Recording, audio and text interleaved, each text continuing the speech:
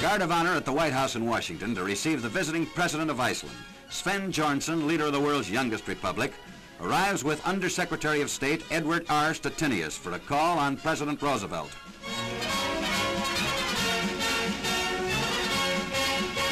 President Roosevelt greets the visiting chief executive and introduces his daughter, Mrs. Anna Roosevelt Boettiger.